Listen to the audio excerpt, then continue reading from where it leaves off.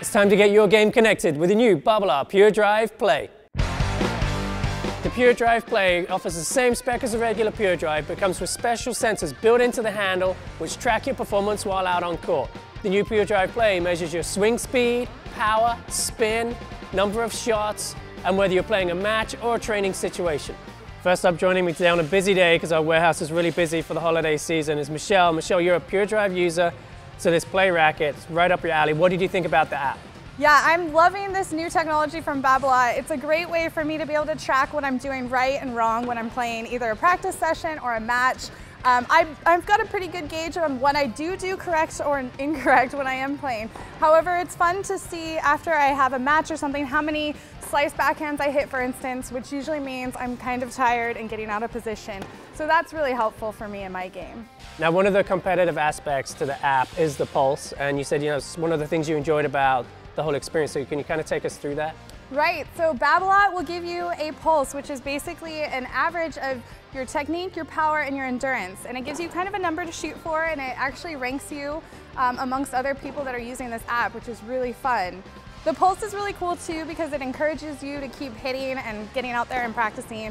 Um, if you haven't touched the racket for a few days, it will send you an email warning and tell you that your pulse is going down, which for me, I'm too competitive. I don't want that to happen ever. Overall, since I am such a big fan of the Pure Drive from Babolat, I really found this racket to be a lot of fun and great to practice and play with. Next up I have Mark Boone, and Mark, we were both fortunate enough to be on the uh, launch for Babolat Play, and so we learned a lot about the app. I know you've got a ton of experience with it. Uh, why don't you take us through it a little bit? Well, can't wait to get some more experience with it. Uh, this was a great play test overall.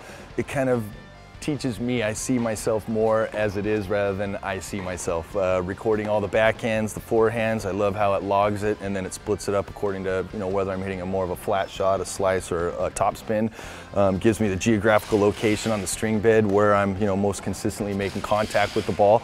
And uh, it, it, allowed me to see subtleties and nuances of my game that I can't see mid-flight, maybe even, even if I'm having my uh, session recorded with a video camera. So overall, I thought the, the fact that it's synced with an app, it's very encouraging. You're kind of being competitive with other people. As Michelle said, um, you get to kind of stack yourself against the top 20 pro or other people that have this racket and this app together.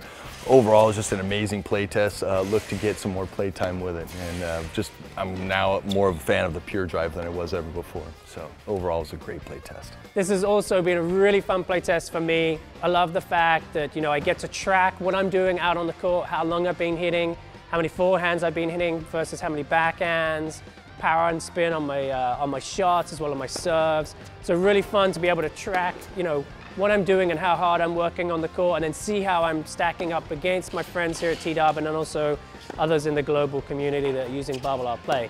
One thing is I also really like is the fact that it's encouraging me to play more. You know, I haven't used a racket in a few days, my pulse starts to drop, I get an email telling me I need to get out there and work hard again on the court.